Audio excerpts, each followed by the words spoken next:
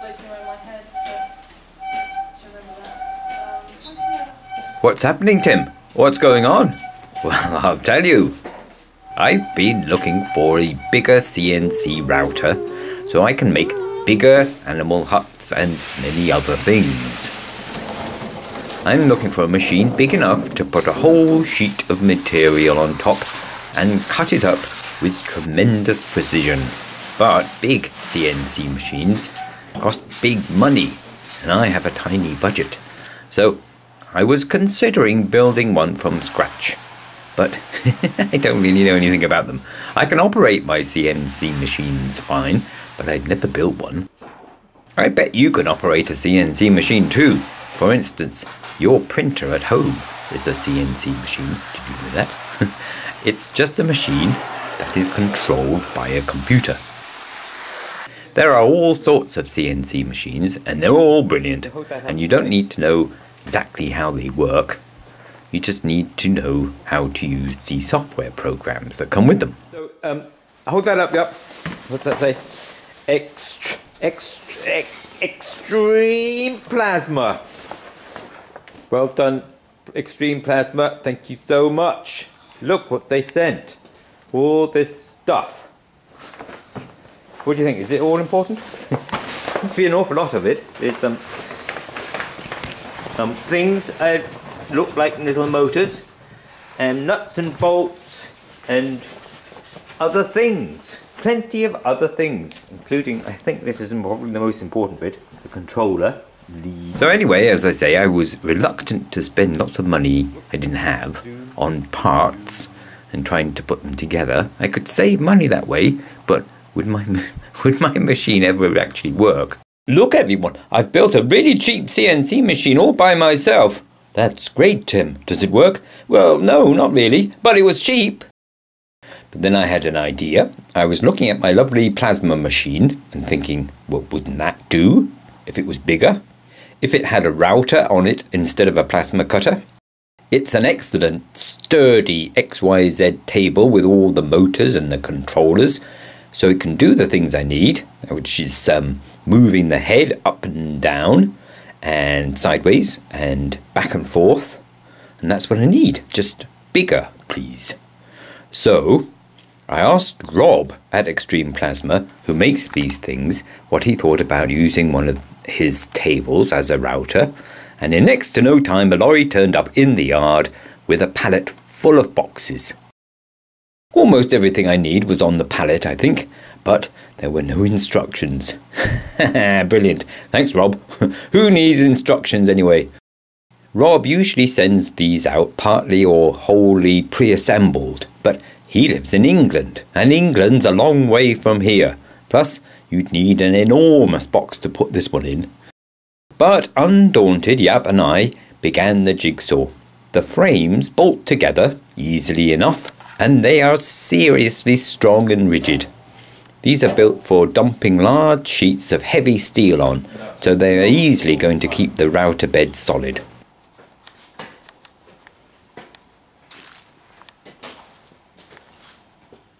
Then came the rails, except the rails weren't in the box because they need to be 10 feet long and they wouldn't fit. They're a standard size box section steel though, so I just ordered the length and we cut it up. Not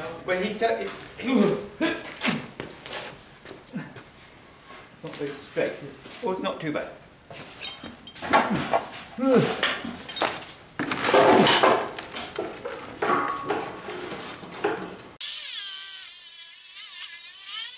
It's crucial that the rails are parallel with the bed of the machine. We made them flush with the top of the legs. I hope that's going to work. So, I want this down just a little bit. There's not much space there.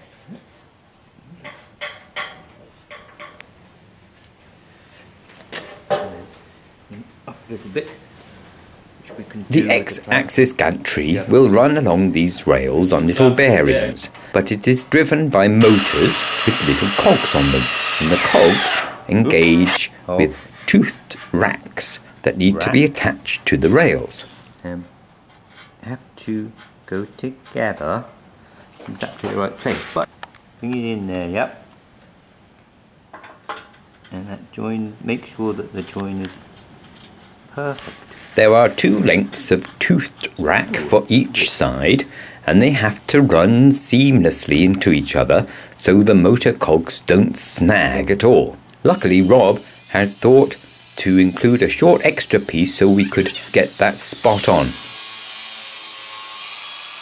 Now I could perhaps have welded on the racks using my stick welder, but Will has a TIG welder and the skills to use it properly. So naturally I let him do that.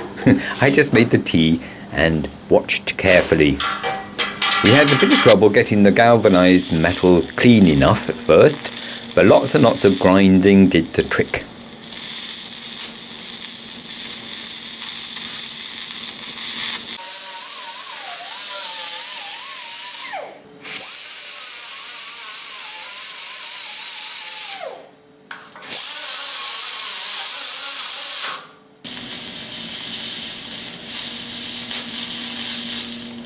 Potentially this was the trickiest part of the build, but it seems to have gone alright.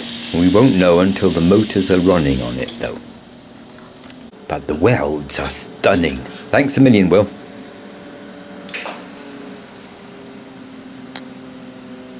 Unfortunately, at this point, we realised we had a problem with one of the rails.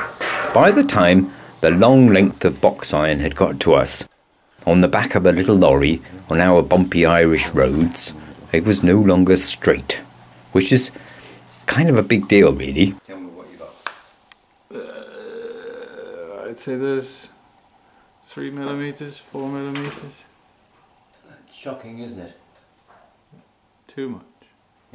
I should have cut it up in the uh, supplier's yard and brought it back in two pieces, but I didn't. And now it's slightly banana shaped. We fixed the ends and jacked up the middle, but the ends kept slipping up the posts, and it took a lot of pressure to bend the tube. Believe it or not, it took us an hour and a half to straighten this. we had to go slowly for fear of bending it too far. what?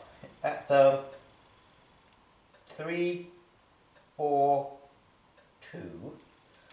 So next time, if we need to go, we'll have to go more than three quarters. Okay. Okay. So down again.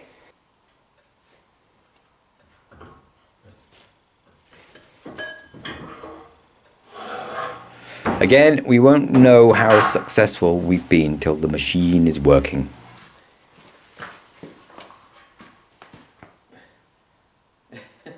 exactly the same as it was before. Okay. Here, whoop. Three, four, six. Uh, That's moved up six more millimeters. Three, four, two. So three, four, six, four millimeters. Four millimeters. Another one, another squash. Going up to three, five. Going up. Whoop. Okay, down again.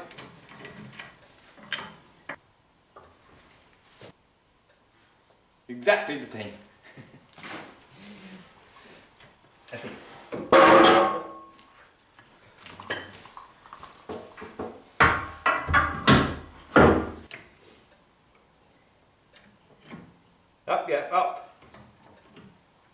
And stop.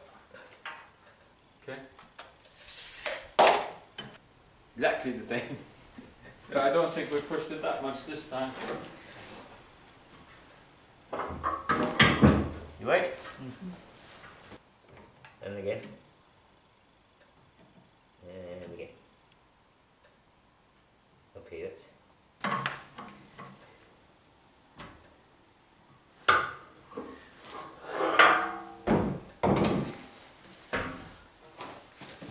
There are probably easier ways of doing this, but we did get there in the end. Okay, green string. How's it looking? Much, much better. Ooh. Ooh. So that's the frame and the rails up. It's so exciting. We have to make a bed for it next and get the gantry in position. Well, it's half a mil. I think that'll do. And think about what the router is going to sit on. Lots to do. Tune in next time for the next thrilling installment.